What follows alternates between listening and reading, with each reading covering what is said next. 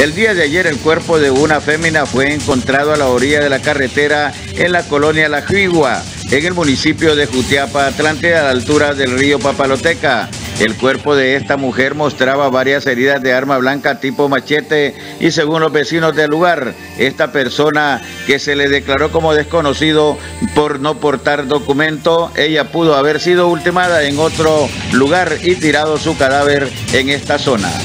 Los transportistas que cubren la ruta interurbana de la aldea La Unión en el municipio del Porvenir Atlántida el día de ayer suspendieron el servicio de los pobladores del lugar por amenazas que le realizaron supuestamente pandilleros de que si no pagaban el impuesto de guerra les quemarían sus unidades de transporte. Ante este paro, aunque los transportistas no presentaron denuncia ante la Fuerza Nacional Antimaras y Pandillas, este organismo comenzó una investigación el mismo día de ayer. Así es, eh, Maldonado, desde tempranas horas de la mañana, cuando los agentes de la Fuerza Nacional Antimaras y Pandillas eh, pues se dieron cuenta del hecho, se trasladaron a la zona, están ya investigando y a esta hora de este día se ha trasladado otro equipo de la Fuerza Nacional Antimaras y Pandillas también para eh, apoyar lo que son las investigaciones que se están realizando y esperar que en las próximas horas demos buenos resultados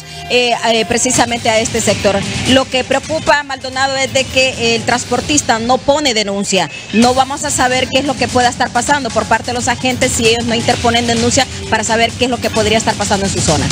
Este fue un reporte enviado desde la ciudad de La Ceiba por su corresponsal Ramón Maldonado con las imágenes de Carlos Córdoba. Muy buenas. HCH Sucesos.